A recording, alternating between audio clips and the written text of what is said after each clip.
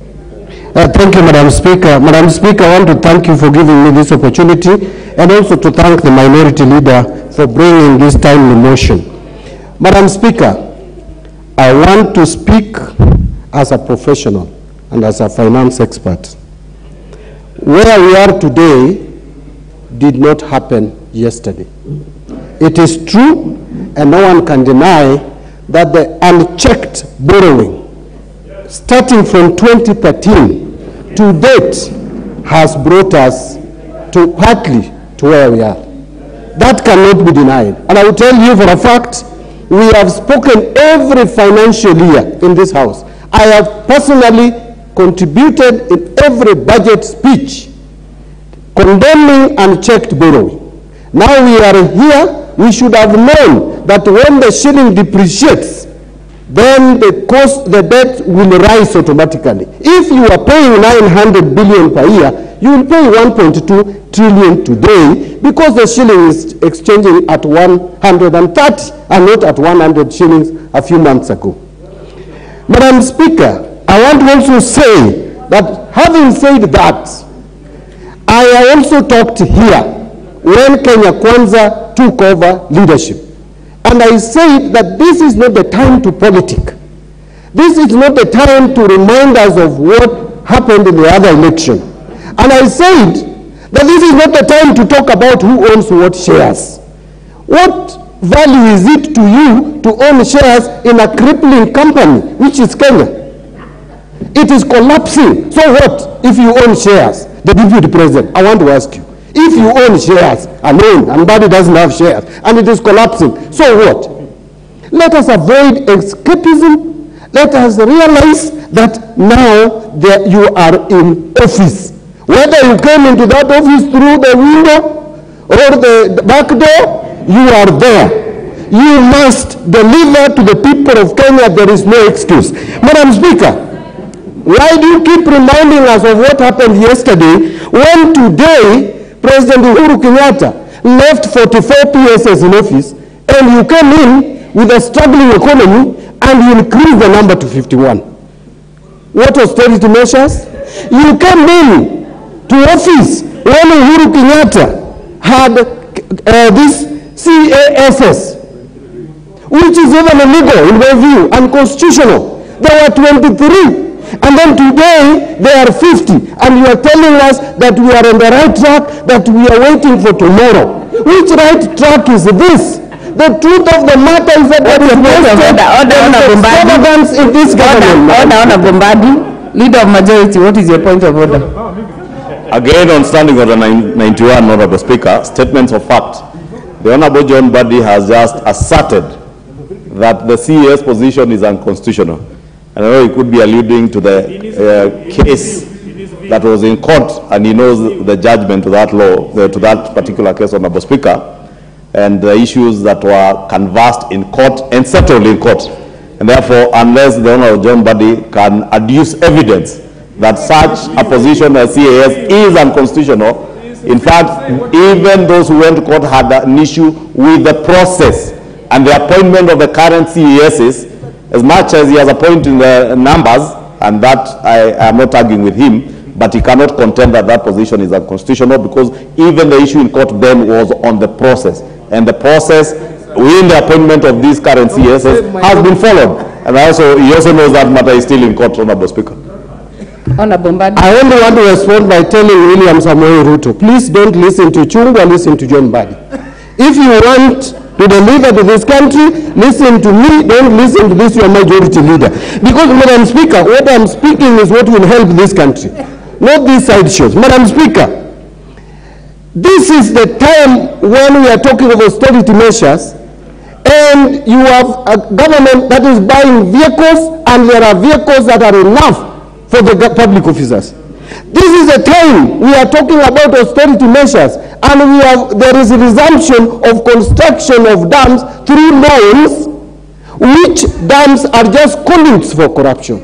Madam Speaker, if we have to be careful and serious with our economy, let us face each other in the eye and tell each other that all Kenyans have contributed to this. And that that is why we elect governments every five years, so that if there is mess, another government Your time is up. Chair, Finance Committee.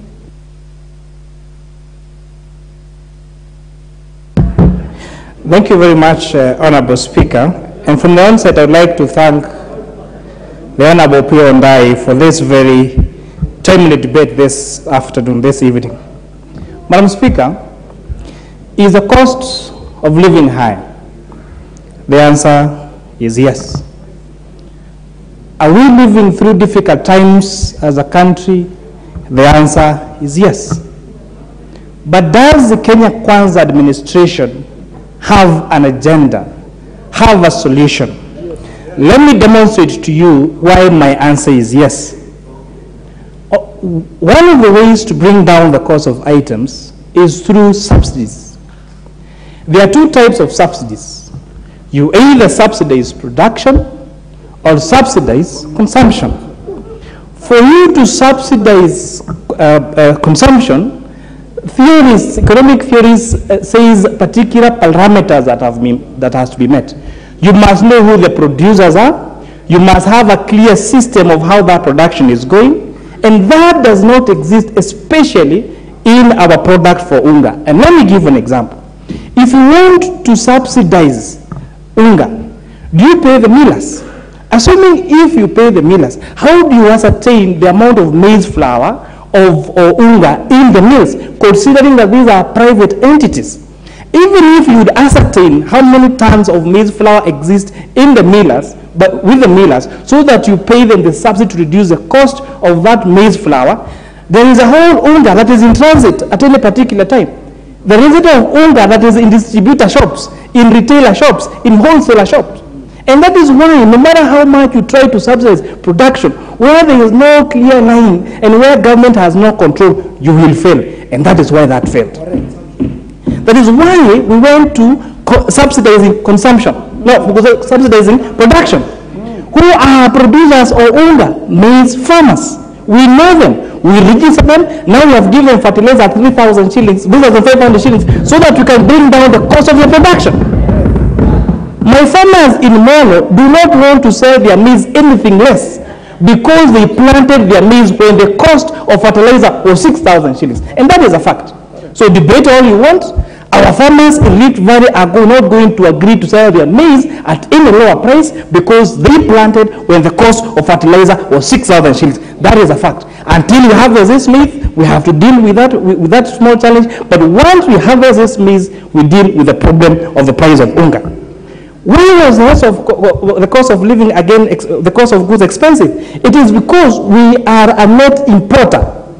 So most of the items we consume, we import from other countries. So when the exchange rate of the US dollars against uh, Kenya shillings deteriorated, consequently it affected our cost of imports. That is a problem. But do you have a solution? The answer is yes. We looked at what is the biggest cost, wh- wh- where are we spending our dollars the most? And where we are spending most of our dollars is importation of oil products. Now we have an agreement with our largest uh, uh, supplier of, of, of, of oil imports uh, of oil imports in this country to be paying in Kenya shillings. And not just that, to stagger the payment within six months. And therefore, consequently, you will find that we'll be able to bring down the cost of fuel down and the cost of, and, and- subsequently, then you, you must have noticed that we have also been able to stabilize the Kenya shilling from around 135 shillings to around 120 shillings. It's going to go down to 115 shillings. When that happens, our cost of import will be less and we'll be able to buy our products at less prices. You're telling us about taxes. The last finance bill is the one that was passed by this house and it was passed by members of parliament from across the political divide in the 12th parliament. I have not brought any finance bill and when I will do, you will see that we are reducing a lot of taxes because we have realized that increase in taxes does not always lead to increase in how much we collect in terms of taxes. Honorable members, we have a plan. Relax. You failed. Let us fix this economy. And that I support. Thank you. my chairman. Thank you. Yes, thank you. Thank you. Kindly members.